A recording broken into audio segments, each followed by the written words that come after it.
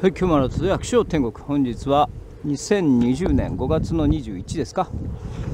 さあそういうわけで先ほどねぬかをね、えー、袋詰めしたんですけどね、えー、それを早速ね畑に巻きます。こんな感じですね。はいこんな感じです。巻いていきますか。でここはねもう秋冬の人参ですね。人参です。こうまあ散布して今からトラクター持ってきましたからすぐ突き込んでね風があると飛んでっちゃうんでねすぐに突き込んで、えー、ここは太陽熱マルチをかけるわけです。ですからね。秋冬人参ですから。なので、えー、今日5月の20日じゃないですか。これで2週間ぐらいして、えー、土となじなじませてから、えー、ビニールかけるわけですね。なので。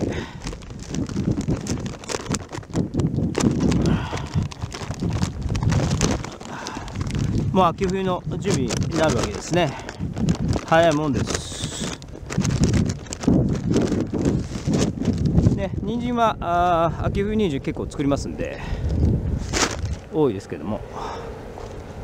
よいしょ。どうしてもこれ出てきちゃう。し。ょ痛いよいしょ。よいしょ。はあ。はあ。まあどれぐらいの量巻くかっていうのがねポイントでござる、ね、わけですけど。まあ気持ちね薄くということになります、ね、薄く薄く。こんな感じですね。わかります？えー、もう秋冬人参は基本連作でございます。ね。連作ですのでこの場所。はずっとねこうやって毎年、えー、入れる肥料はもうぬかのみです、ね、ぬかのみでございます。でおそらくいけると思います。まあ今年1年目作ってみてね。ですけれどもおそらく多少小さくてもぬかをねある程度今年少なくしてみて来年ですね人参の太りを見ながら作っていくことになります、はい よいしょ。暑い。もうちょっと本当はね暑くしたい。ですけどまあ1年目なのでね。1年目2年目3年目ぐらいで大体、えー、蓄積されていきますのでそれぐらいでちょうどいいような感じね持ってきたいですね。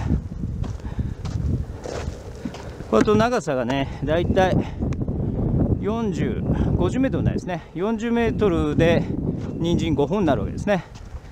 なのでちょうどこれで、えー、半分ぐらいですね。秋冬人参のね。もう1箇所別に作ってあります。例えばこちらを年内とか。もう1箇所を、えー、越冬分とかね。6月に太陽熱マルチをビニールかけましてすぐにね、えー、だいたい太陽日に当てるのがですね、えー、3週間。最低3週間から1ヶ月ですね。はい。なのでこう巻いてね、えー、だから結局6月に入ってすぐに太陽熱マルチをかけたら7月の10日前後ですね一発目の人参がねというふうに予定しております。まああの諸事情変わってきますね。梅雨が入ってきたりするじゃないですか。なのでね雨が降ったらすぐ、えー、ビニールをかけると。太陽熱マルチはとにかくね、えー、水分が水分にが畑の土に入ってないと、えー、しっかりとね効きませんのでただあんまりびちゃびちゃでもダメということでその加減が難しいですね。雨が結構降った翌日じゃなくて翌々日ぐらいが一つポイントになります。まあその辺はねなかなか、えー、塩梅があるんでね一言には言えないんですけども。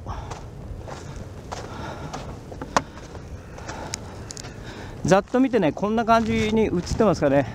畑がこうやってねなんかぬかでねファンデーションがね薄くかかったぐらいの状態。これぐらいが本当言うともう少し厚くしたいですね。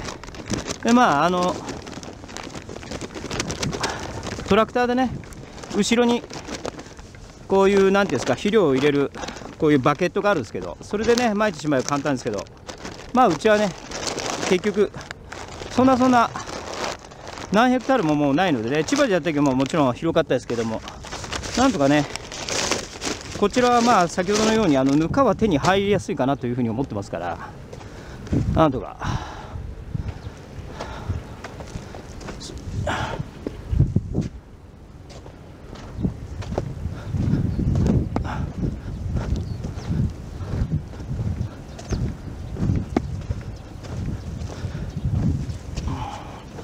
よいしょ。あとはだから秋冬人参ですね。だからもう準備に秋冬の作付けの準備に入りましたよってことでございますね。でできるだけね浅くすき込むんですねこれね。浅くすき込むポイントはね。今日は1回目ですから。どの位置ビニールを貼るときに、えー、ゆっくりとピチピチに貼らなきゃいけないんでね。それが2回目か3回目になります。おそらく今日浅く浅くすき込んでねこういう草ある程度、えー、ないような状態にしてそして次のビニール貼るときに少し深くいくという形になりますかね。よいしょ。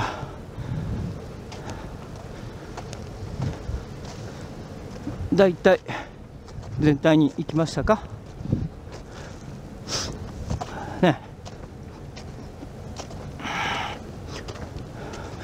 先ほどね昼過ぎちょっと行ってもうぬかまみれになりましたんでねそのまま部屋に上がったら離婚だという嫁から言われましたんでねすぐに、えー、裸になってねシャワー浴びまして事なきを得たわけですけどもね。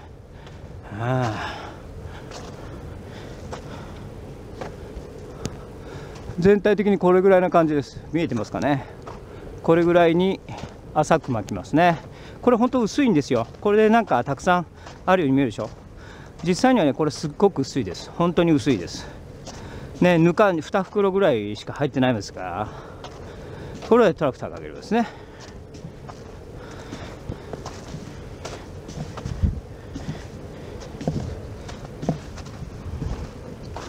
ということでね秋冬の準備が入りました。始まりましたよ。全部で5体置いたんですけどまあ2体ぐらいで十分ですな、はあ、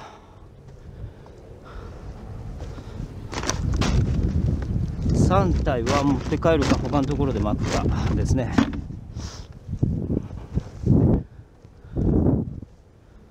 よいしょ。よこら。よいしょ。ちょっと多かったですね。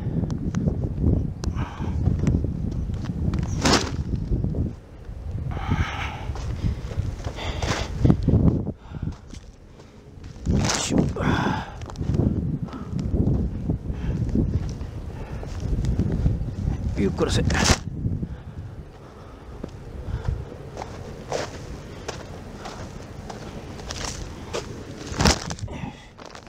ということで、はい、おうおう。おうおう。トラクターかけましょう、はあ、よいしょ。今日は暑い、はあ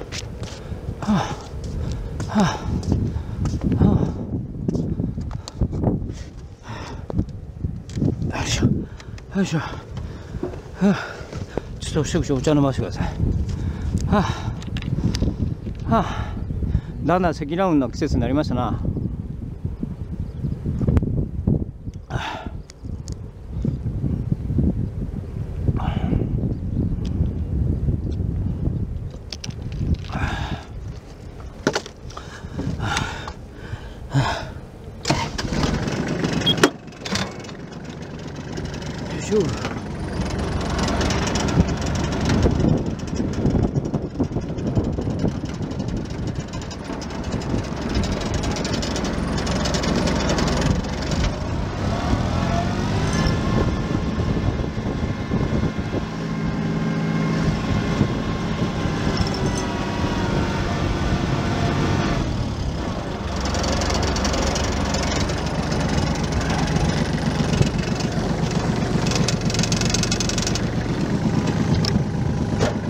できるだけね浅く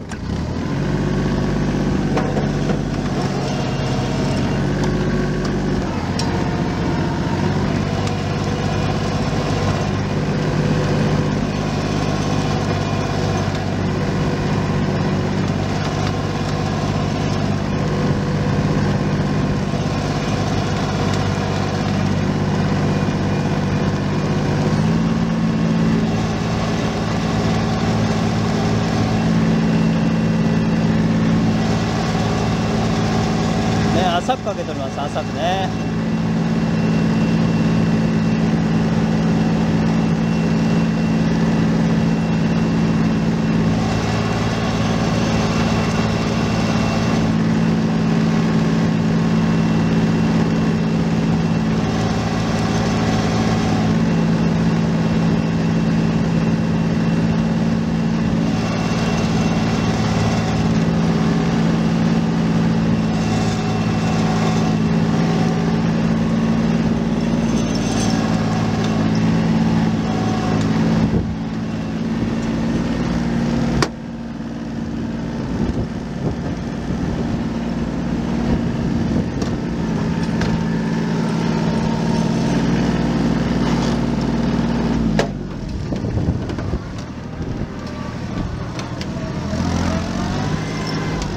な感じですね。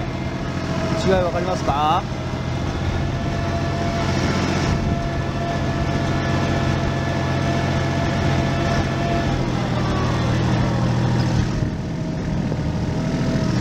ね高いしたとことそうじゃないところ違い分かりますか？はい。ね。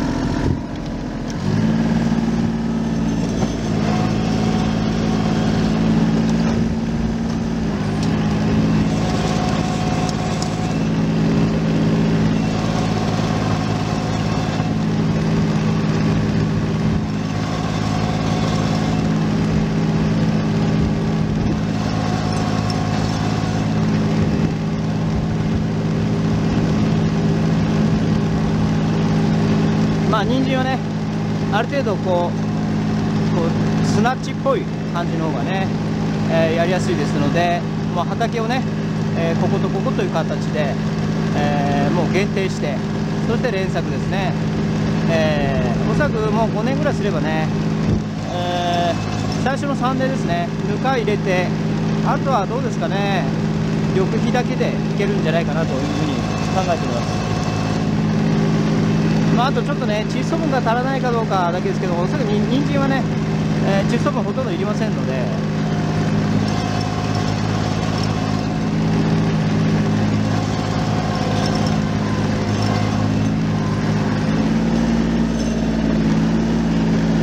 人の車なんでね、ぶつけないようにしないと。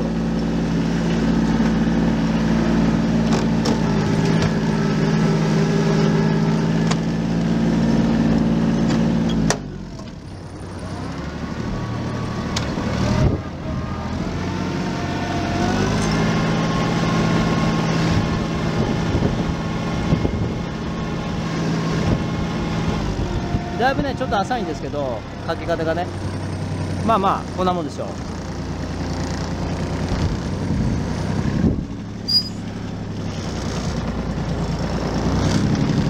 ね千葉と違ってねとにかくあのもう境界線がすぐそこに迫ってますんでね。気をつけて耕さないとね。周りでやってる人いっぱいいらっしゃおられますんでね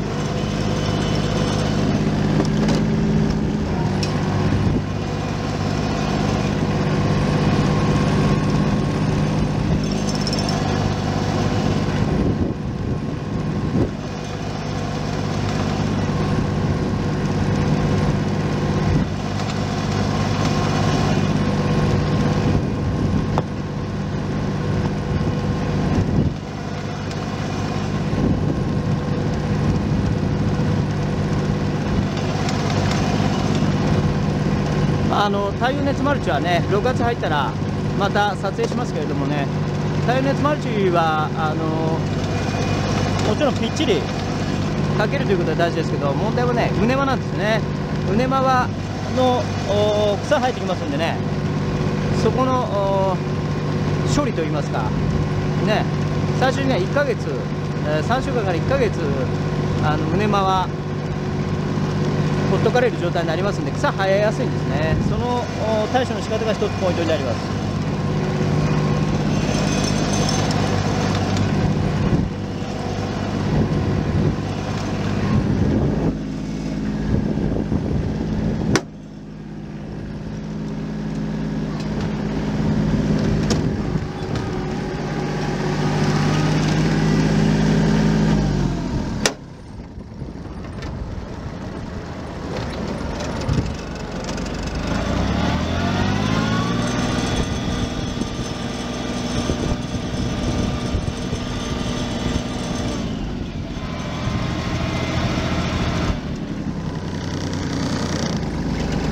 結構キワキワなんでね。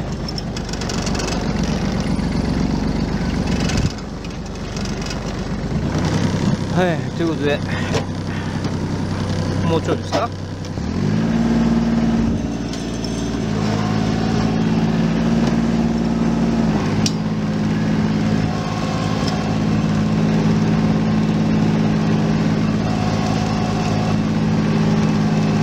もう5月の終わりからね秋冬ねの準備ですよ。で5月の終わりにはあ来週ですねキャベツ秋冬のキャベツの一発目。でまああの夏の白菜ですね。で5月の中までに5月終わるまでまでにねマークというのが我が農園のいつものパターンです。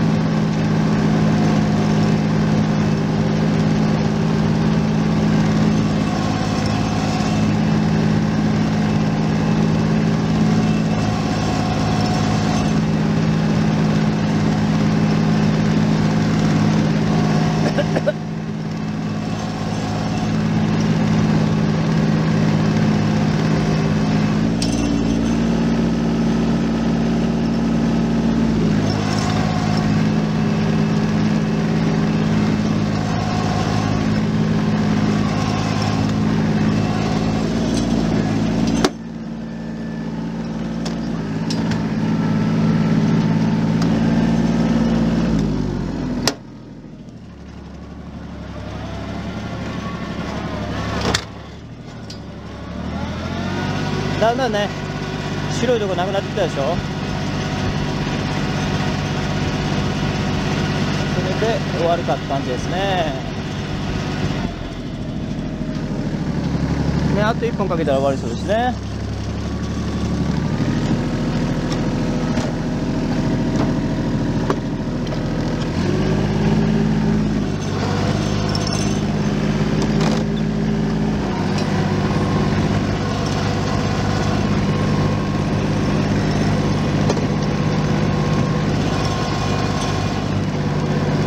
浅く浅くね。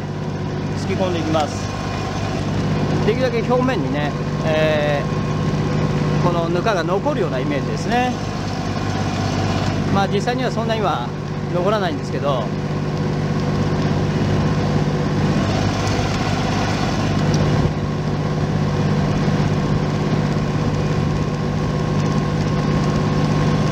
まああのこちらはあの一枚一枚の畑が狭いのでね、え逆に狭いところは狭いところで、え1作とね。これは何世ぐらいですか？40メートル6本っていうと何世ぐらいですか？240平米だから990平米で、えー、1単ですからその大体3分の1ぐらいでしょ？3世ちょっとぐらいってことですか？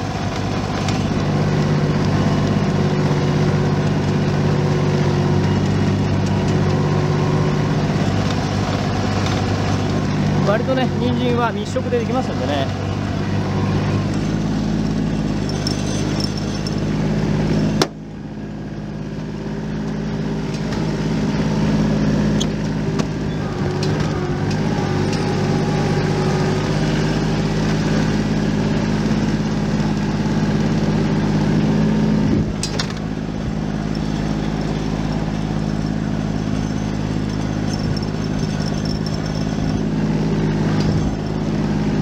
っちに来たらやっぱねちょっとトラクターがねもうちょっと小ぶりだといいんですけどまあしょうがないですね。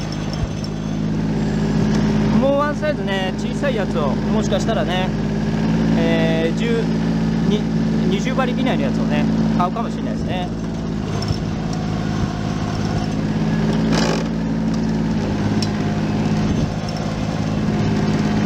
その辺のやつが1台あった方がいいかもしれないですね。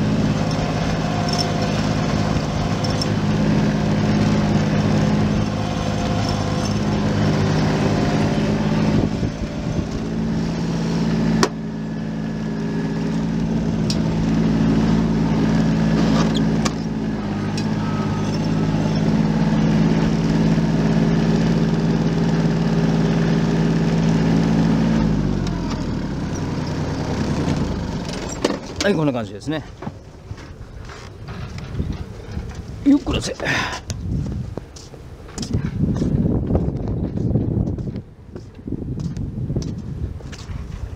の辺がいまいちですけど。まあまあまあこんな感じですね。6本。12345あ厳密に言うと5本ですね。はい。だから偽偽ぐらいですか。ね。え、偽もうちょっとあるかな。2.5世ぐらいな感じですね。これがおそらく前半戦に持ってくるかと思いますね。えー、7月の10日前後に参って収穫が10月の終わりとかねを狙う口になりますね。秋冬人参ということで、えー、ぬかを巻いてトラクターで突き込むという、えー、人参の前半戦の太陽熱マルチを予定しているところの準備の畑でございました。